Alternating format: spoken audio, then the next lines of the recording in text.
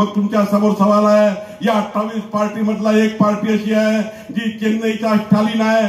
चेन्नईच्या स्टालिनचा पुत्र उदयनिधीनी उदयनिधीनी काय म्हटलं? अठ्ठावीस पक्षाची युती झाली. मोदीजीला हरमतची युती झाली. उद्धव ठाकरे शरद पवारांनी युती केली. त्या युतीमधला एक चेन्नईची पार्टी स्टालिनची पार्टी जी महत्वाची पार्टी आहे त्यांनी असं म्हटलं. काय म्हटलं हो? काय म्हटलं कोणाला माहिती आहे का? जर इंडी आघाडी ते इंडिया आघाडी नाही आहे इंडिया आघाडीचं काय करते आय टिंब एन टिंब अशी इंडिया राहतो का कधी असं? राहतो का असा इंडिया?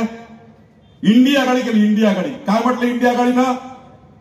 स्टालिननी असं म्हटलं या देशामध्ये जर इंडी आघाडीचं सरकार आलं काँग्रेसचं सरकार आलं आमचं सरकार आलं तामिळनाडूच्या चेन्नईच्या मुख्यमंत्र्यांनी सांगितलं स्टालिननी जर आमचं सरकार आलं त्याच्या उदयनिधीच्या पुत्रांनी म्हटलं आमचं सरकार आल्यावर आम्ही या देशामध्ये हिंदू संस्कृती नष्ट करून टाकू हिंदू संस्कृती गाळून टाकू हिंदू संस्कृती संपवून टाकू. हे तुम्हाला मान्य आहे का? तर हातवर करून सांगा मान्य आहे का तुम्हाला हे? आठ हजार वर्षापूर्वी प्रभू रामचंद्राचा भारत पाच हजार वर्षापूर्वीचा प्रभू श्रीकृष्ण भगवान श्रीकृष्णाचा भारत तथागत गौतम बुद्धाचा भारत. या भारतातली संस्कृती संपून टाकू. देव देव धर्म संस्काराकरता काम करणारी आपली हिंदू संस्कृती ही हिंदू संस्कृती संपून टाकू असं उदयनिधीने म्हटलं. आणि त्या उदयनिधीच्या युतीमध्ये आता उद्धव ठाकरे माझा पत्रकार महोदयाची आणि इलेक्ट्रॉनिक मीडियाच्या माध्यमातून प्रश्न उद्धव ठाकरे आणि शरद पवार साहेबांना. सांगलीमध्ये आला शरद पवार साहेबांना विचारा.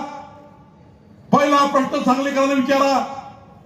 सांगलीकर जनतेला माझा विनंती या ठिकाणी माझं आव्हान आहे. जे हिंदू संस्कृती संपून टाकू असं म्हणणारा स्टालिन आणि उदयनिधी तुमच्या युतीमध्ये आहे. तुम्हाला हे मान्य आहे का? तुम्हाला हे मान्य आहे का?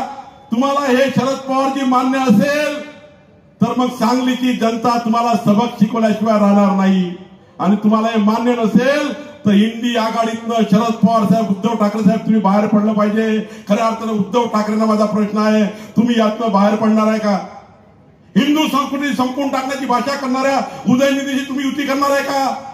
ही सांगलीची जनता म्हणते आम्ही ह्या हिंदू संस्कृतीचा नष्ट करणाऱ्या लोकांसोबत नाही आहोत. तुम्ही आहे तर तुम्ही स्पष्ट केलं पाहिजे.